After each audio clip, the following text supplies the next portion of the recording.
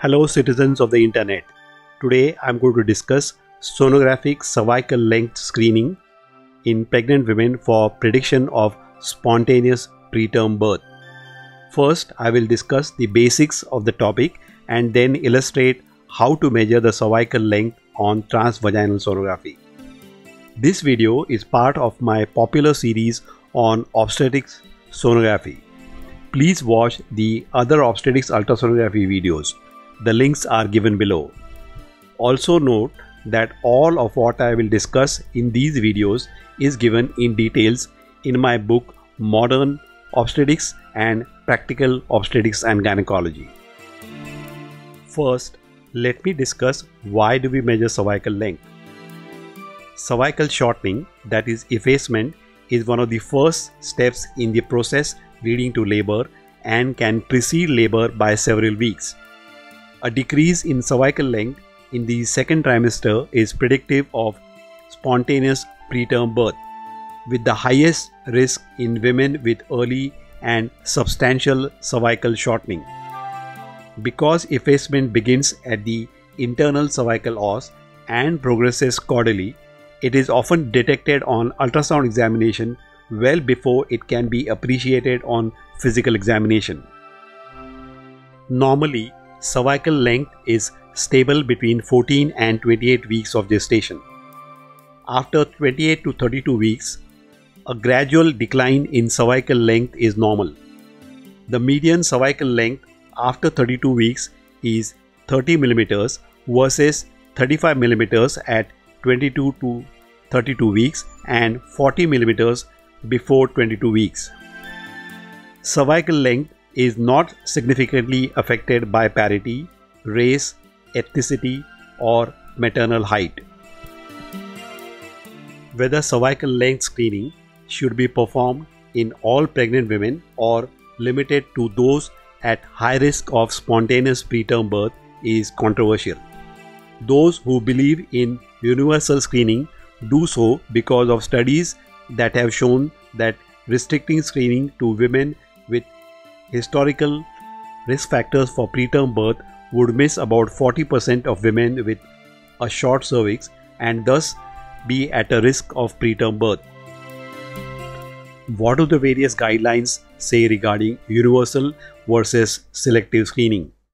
The Society for Maternal and Fetal Medicine recommends routine transvaginal ultrasound cervical length screening between 16 and 24 weeks of gestation for women with a singleton pregnancy and a history of prior spontaneous preterm birth. ACOG neither mandates universal routine cervical length screening in women without a prior spontaneous preterm birth nor recommends against such screening. FIGO recommends sonographic cervical length screening in all women 19 to 24 weeks of gestation using transvaginal ultrasound. Women with a cervical length of less than or equal to 25 millimeters should be treated with daily vaginal progesterone according to FIGO guidelines. Every sonologist who is going to measure cervical length must know the difference between anatomical length and functional length of the cervix in pregnancy. This line diagram illustrates the difference between the two. As you all know, the distance between anatomical internal os and external os is the anatomical length of the cervix. However, since formation of the lower uterine segment begins from the second trimester onwards, variable portions of the cranial end of the cervix is already taken up as lower uterine segment by the time one measures the cervical length in second trimester. For the sake of understanding, I will label this funnel length as A. Thus, the distance between the new functional internal os to the external os is the functional length of the cervix. Let's call it B. Some sonologists also measure the width of the cervical funnel shown here as C. Needless to say, A plus B will be the anatomical cervical length. Some calculate the percentage funneling of cervix which is A divided by A plus B. Let me discuss funneling of the cervix in more details. Funneling is the protrusion of the amniotic membranes into the cervical canal. Funneling has been variably defined according to the depth of protrusion and or the ratio of the funnel depth to the length of the funnel plus the remaining closed cervix. As the cervix effaces, the relationship between the lower uterine segment and the axis of the cervical canal also changes and is described according to the shape of the letters T, Y, V and U. The mnemonic for this is trust your vaginal ultrasound. T represents the normal relationship of the area where the endocervical canal meets the uterine cavity, whereas U represents almost complete effacement and signifies the highest risk of spontaneous preterm birth. The presence of funneling is important. Greater than 50% funneling of the cervix before 25 weeks is associated with an 80% risk of preterm delivery. The cause of preterm cervical shortening is often unclear. It has been attributed to several sources, including occult uterine activity, uterine overdistension as in polyhydramnios or multiple pregnancy, congenital or acquired cervical insufficiency, decidual hemorrhage, infection, inflammation, and biological variation. What are the risk factors for preterm shortening of the cervix? Patients at high risk for preterm delivery include congenital uterine anomalies, previous cervical trauma or surgery, history of recurrent spontaneous or therapeutic miscarriage, and history of preterm birth prior to 32 weeks, the last being the most important high risk factor.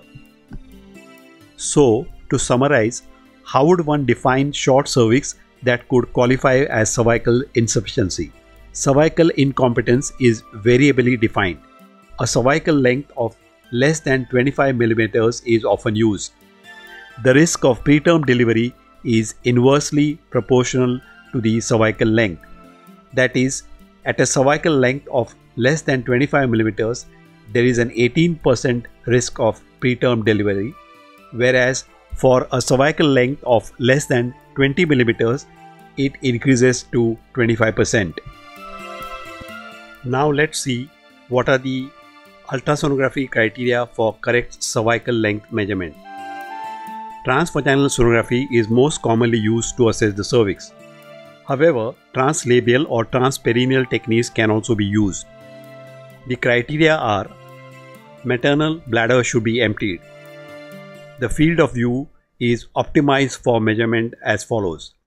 Adjust the depth and focus such that the cervix occupies 75% of image on the screen. The anterior width of the cervix should be equal to the posterior width of the cervix. Cervical canal should be visible throughout and internal os as well as the external os must be seen. As far as the correct caliper placement goes, do not include the funnel. Cervical length is measured from the tip of the funnel to the external os, that is the functional length is measured. Cervical mobility should also be considered.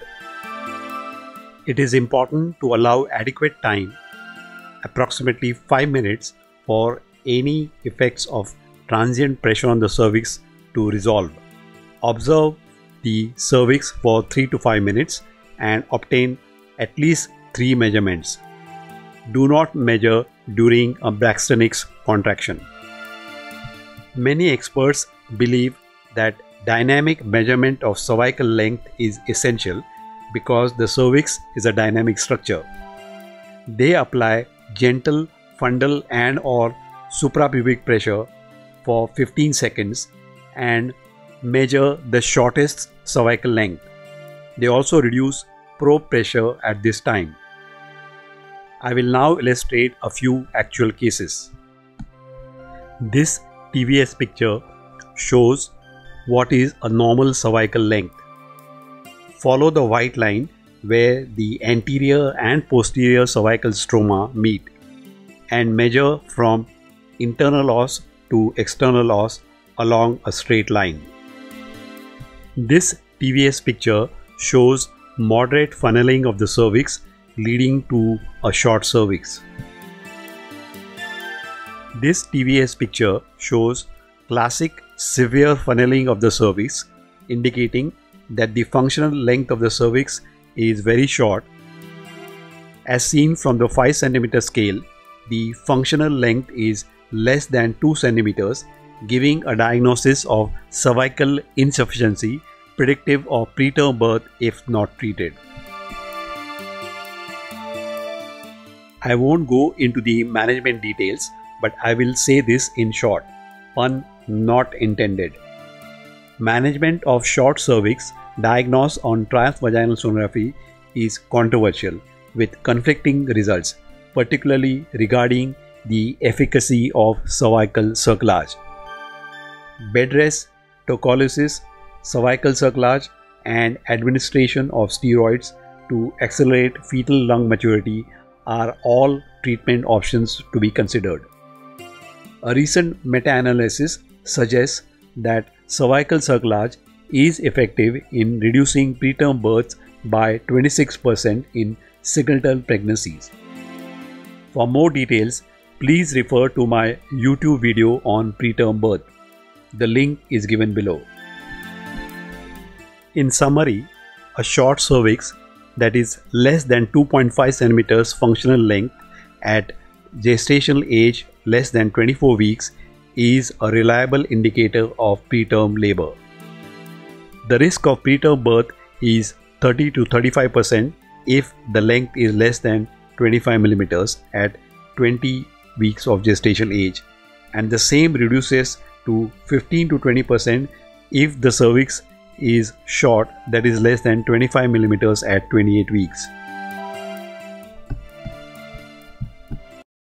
If you want to study more about this topic or any other topic in obstetrics and gynecology, please read the following books written by me Practical Obstetrics and Gynecology, Modern Obstetrics, Modern Gynecology, Clinical Cases in Obstetrics Questions and Answers, Clinical Cases in Gynecology Questions and Answers, and Pelvic Reconstructive Surgery, a monogram on pelvic organ prolapse. For purchase inquiries, contact me at email given below or ping me at the WhatsApp number mentioned below. Also, please subscribe to my new YouTube channel called Modern OBGYN that deals with basics of obstetrics and gynecology and press the bell icon to get regular notifications about new uploaded videos. Thank you.